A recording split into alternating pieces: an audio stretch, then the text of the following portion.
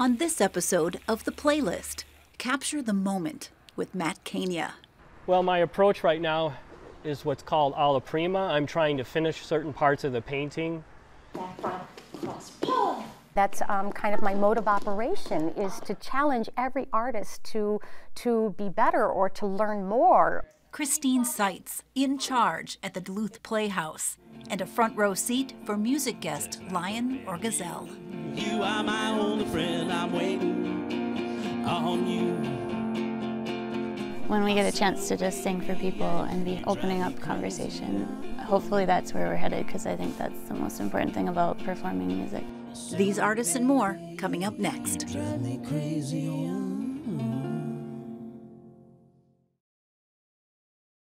Funding for the playlist is provided by the citizens of Minnesota through the Minnesota Arts and Cultural Heritage Fund.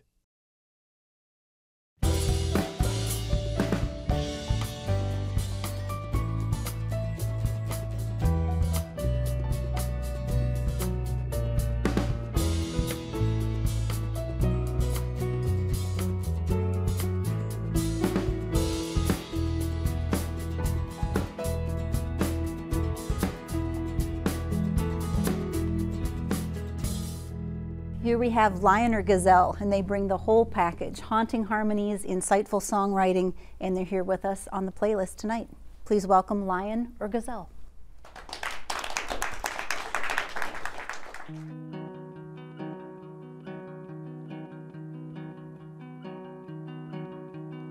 Holly to pay the but she'll end up drinking in some dark hollow, dreaming of the river finger in a crucifix.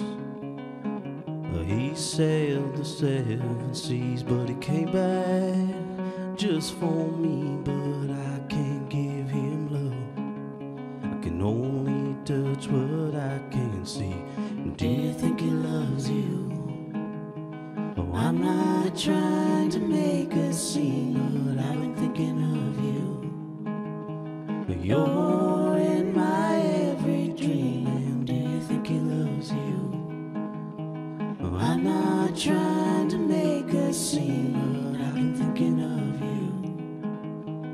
you.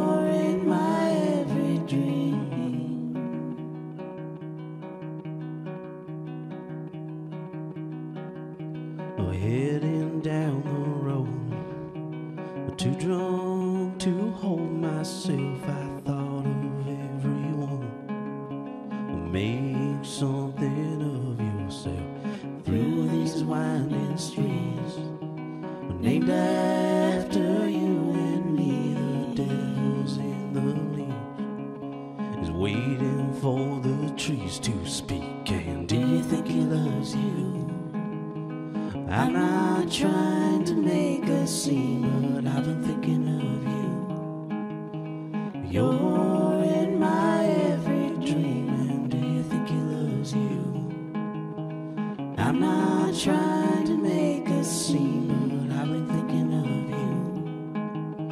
you. You're in my every dream.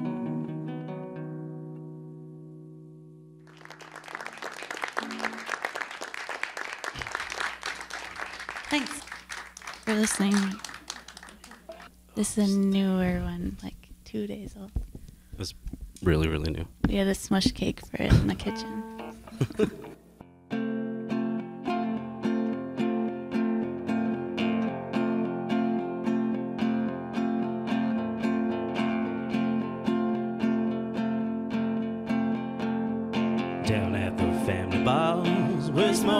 cheap cigars and waiting on you. Dressed like a Bedouin, you are my only friend. I'm waiting on you. I said, Oh baby, yeah, you drive me crazy. Oh. Now I can accept my lot in life. From the lion with bees in his mouth and my hair stealing wife. Oh.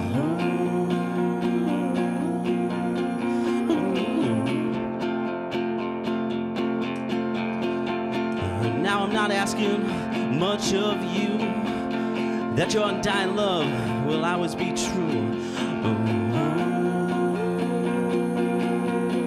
Ooh. Down at the family bars, we're smoking cheap cigars and waiting on you. Dressed like a will, you are my only friend. I'm waiting on you. I said, oh baby, yeah, you drive me crazy. Oh. I said, oh baby, yeah, you drive me crazy. Oh.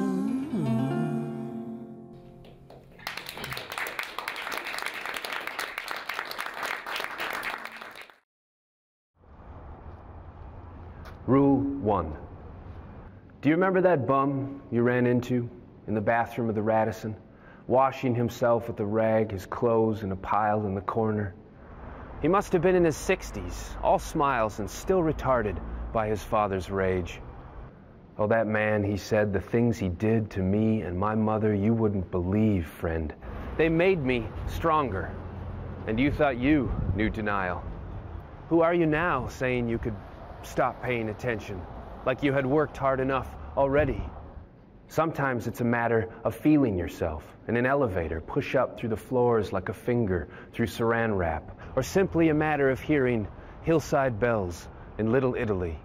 Look, you must remember the God you chose opened you like an oven and placed in you his favorite dish to simmer until you're ready, your head like a buzzer, to take it out and eat it. We're here in the studio with Christine Seitz, the executive director of the Duluth Playhouse. Christine, welcome and thank you for coming over. Thank you. You bet. Love being here. So the Duluth Playhouse is officially 100 years old in Yeah. 2014. It is 2014. Um, we've called this year Journeying to the Centennial. 2014 marks that 100th year. What does it say about a community that had some vision in 1914 to say theater is something that we want in our community? Yeah, you know, it's really interesting. The vision of the Duluth Playhouse back in 1914 started by a group of women who were sitting around a table and they had transplanted from the East Coast, so they were naturally used to going to the opera and theater and they wanted Duluth to be a culturally rich and exciting place to be, so they decided they wanted to start a theater company. But what was unique about their vision is that they wanted to start uh, a, a theater group where the locals could get involved, and they actually took it to the National Drama League and shared this idea that they had, and they were discouraged to do such a thing because theater was reserved for professionals, not for local people to do. So um, they didn't care. They came back and they did it anyway. The reason is that they saw theater as um, a way for uh, the community to directly, hands-on, get involved in the arts. In your 100th year as the Playhouse, the Playhouse is moving out of its safe zone, to, so to speak, its own theater, and staging Les Mis at the deck. At the deck. I know. Um, that that that that's going to be a very big challenge, but why not? Someone said, "Why are you doing this?" I'm like, "Well, why not?" I mean, Les Mis is the uh, the world's most famous musical, and um, and if we were going to do this show, I wanted to do it. Um, at the highest caliber we possibly could. We wanted it to be part of our 100th anniversary season, and it will be the highlight, the big kapow um, to our, our 100th year. And it seemed only right to make it the biggest community wide event that we could. We're very excited to be collaborating with the symphony for the first time. We have the Minnesota Ballet involved as well. Robert Gardner will be choreographing it, and, and we've brought in um, an outstanding director choreographer from New York City.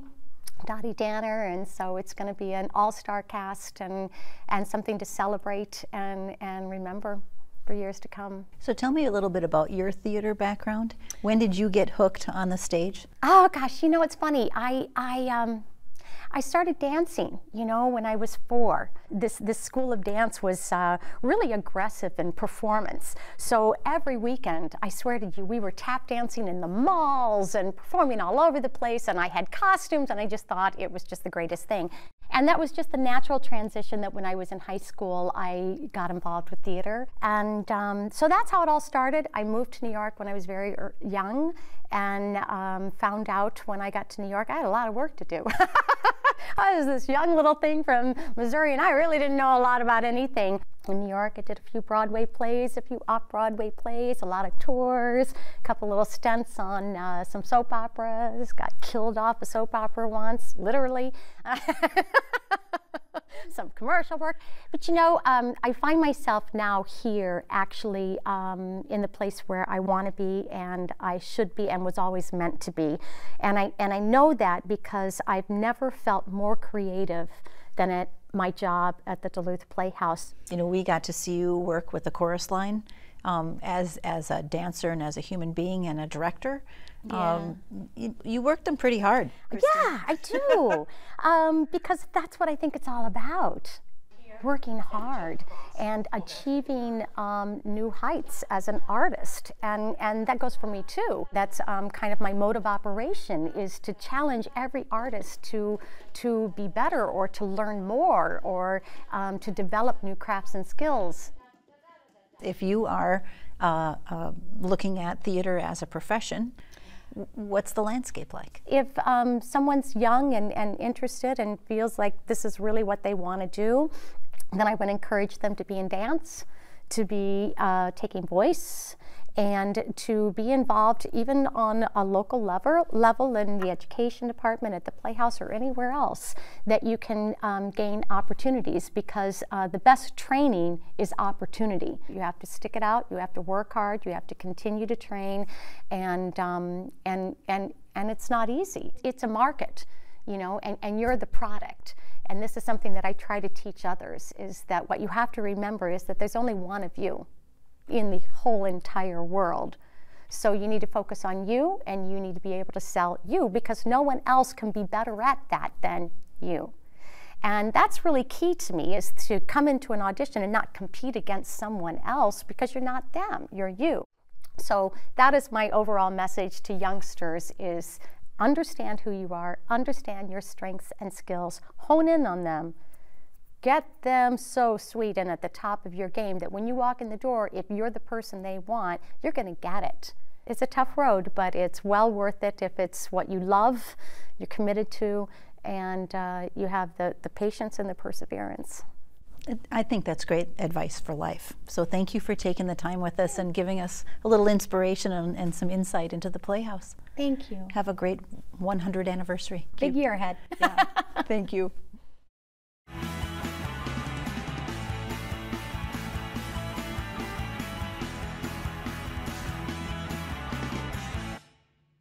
My name is Evan Kelly from the Renegade Theater Company. Uh, the show I'm excited about is a show called All New People. It was written by Zach Braff, uh, creator uh, and writer on Scrubs. Also, uh, The Garden State. Uh, it's a very Zach Braff show, very funny, uh, but a little bit dark at the same time.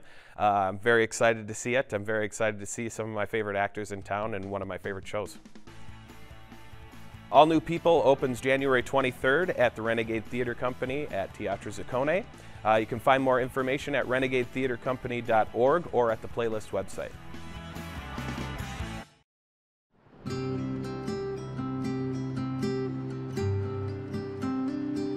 As a painter, you want to just plant yourself in the perfect spot.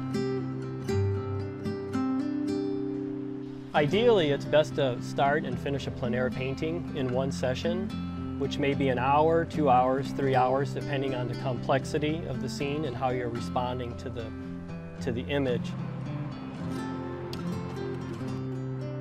Well, the William A. Irvin is kind of overlooked by residents. They kind of take it for granted. I mean, it's really this incredible floating museum, and it's quite a historic ship. And so it's something that I've been wanting to paint for a long time to kind of remind people what a special place it is. I really had only about an hour and a half of light in terms of how it was hitting the side of the hull of the Irvin. And once that light was gone, it was really pretty much over. I either come back another day or work from memory. I'll choose to come back another day and hope for similar light. Well, I'm working on a solo exhibition of plein air oil paintings. And the theme for my show is Start Seeing Duluth. And it's literally paintings throughout Duluth.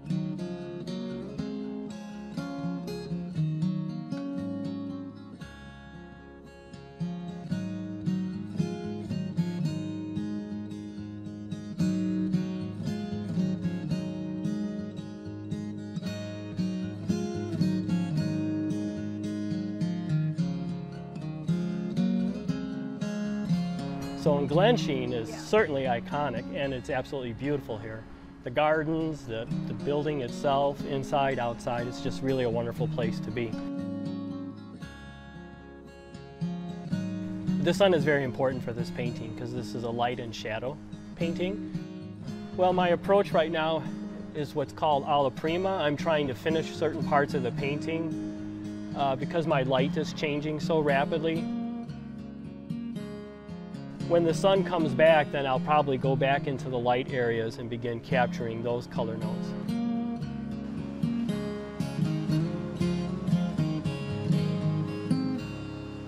There are many ways to begin a painting, and the scene really tells you the best way to begin that painting. In this particular instance, it was very important to me to get the architecture of the scene correct.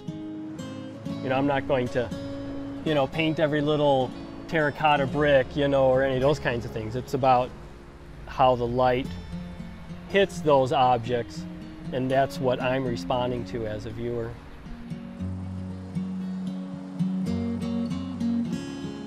And when I painted this, I just simply thought about the Congdon family just enjoying this porch every summer. So I really enjoyed setting up for a couple of days.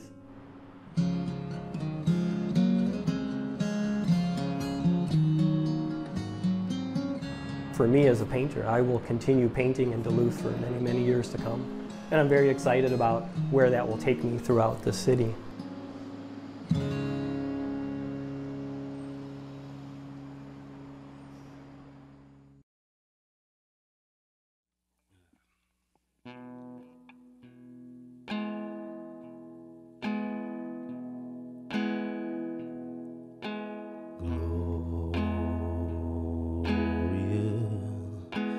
Alone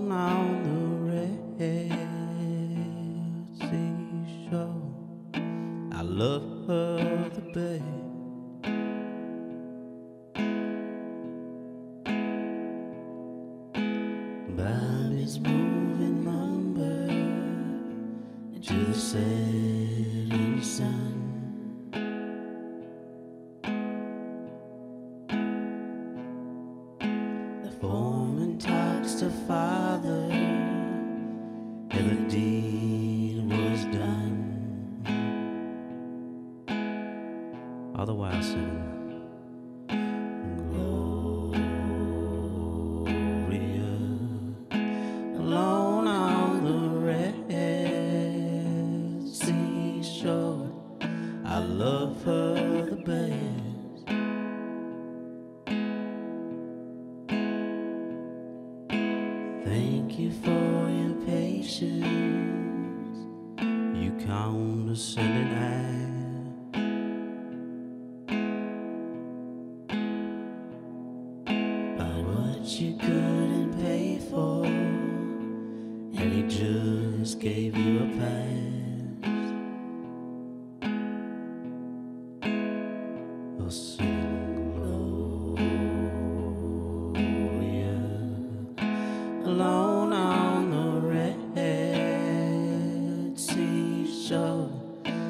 love her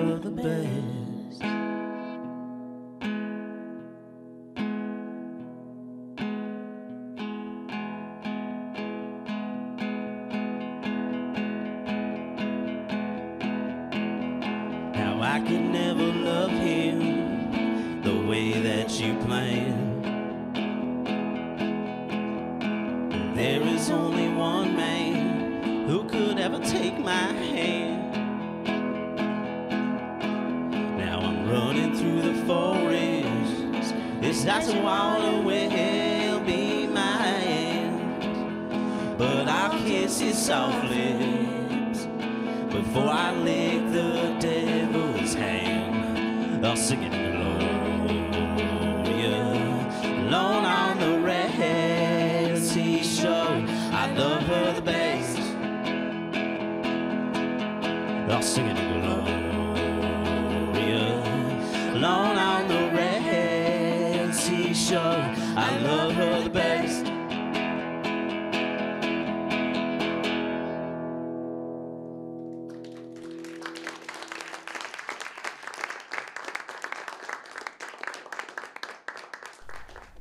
Lion or gazelle?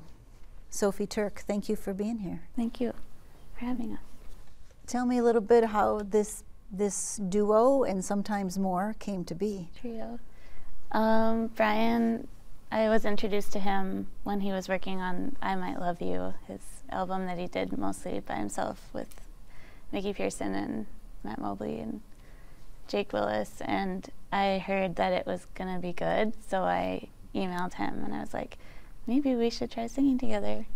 So I expertly attached myself to his coattails and then hung on. Kicked everyone else out. No, it's just. Your voices blend really beautifully. So how how did how does that develop? Would- From the first time you sang together, or has that changed over time? I don't think so. I think the first time we sang, we were really nervous, and Brian was like half gonna fire me the minute I walked in, and then um, we got more comfortable. We got to know each other, and then um, I think I'm used to singing with behind someone. Like I grew up doing that, and Brian has a really good voice, and I think having to sing with someone seriously has helped him become better as a singer. And so we've both kind of grown into it. You know, we've sung together for a year now, so And at this point, um, is Brian doing the songwriting, or tell me how yeah, songs Brian come about? all those songs um, Brian wrote, and they're beautiful. Like, it's funny how he writes songs that I can sing easily as my own if I wanted to, and it's nice of him to share with me. You already have signed with Chaperone Records, which is pretty Signed. exciting. yeah. Well, but tell tell me wh- what's that been like? Um, well, it's it's o- obviously nice because we can use the studio space and record at will, which isn't something that a lot of people can do. So we're spoiled in that way, and um, Bob is great. Like, you know, he's really generous and has been like really working with us and helping us get gigs and get heard, and we appreciate that a lot. So it's been really nice. You've been playing near. I, I say near and far because I know that you've played some gigs in Minneapolis already. Um, what's a good gig feel like? something like this is great where we can just be heard and like hopefully enjoyed you know if not just at least heard and you know pondered for a few minutes in silence There are lyrics in there that I want to ponder. You know, so when when a song comes to you, um, how do you how do you, what do you bring to it? Do you have to listen to it and sing it for a while and think about it, or is it okay? Yes, I get this. well usually with brian um, he plays me a song and and like it depends on my reaction but nine times out of ten i'm like oh my god and i like he knows like if it's good by the way that i overreact Um, what has the reaction been so far to your first album? Um, well, we have the I Might Love You. It's a vinyl like LP, and it's Brian did it um, before I joined the band, so it's really cool. And it's we had this like weird group of people that listened to it on repeat, like and ate Taco Bell. like we heard this um, from someone. So we have these like super fans. They're from the south, and like apparently they love it. But I I really like that one. It's different. It's really far out. And then our our EP is online, and that's us together with Mobley, and it's it's weird and good. But we're working on something new that's going to be even different. So yeah. The last question is where will it go from here? Um, as far as we can handle, we're kind of adult babies, so we'll see how it goes. but right now, we're enjoying um, when we get a chance to just sing for people and be heard, and then talk after. Like that's hopefully that's where we're headed because I think that's the most important thing about performing music in general, opening up conversation with people. Thank you for taking the time. Awesome job. Thanks. Sophie, awesome job. Thank, Thank you. Yeah. Good luck. Thanks. Yeah.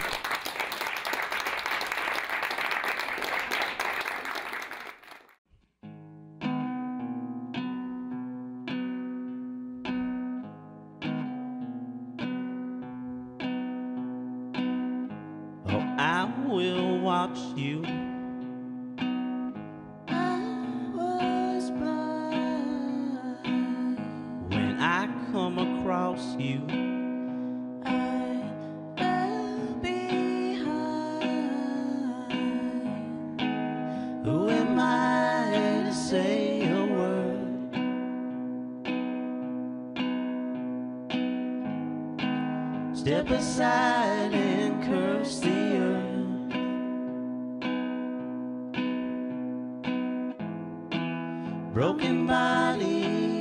sun turns.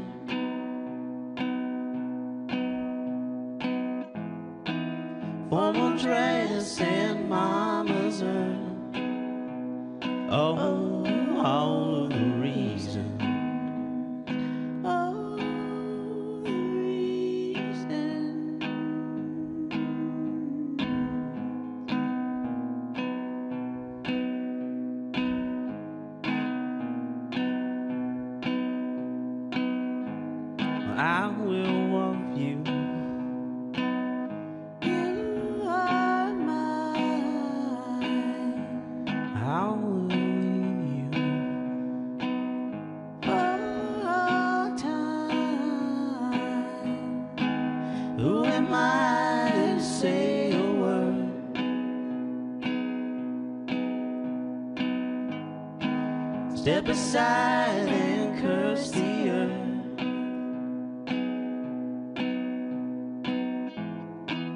Broken bodies unturned.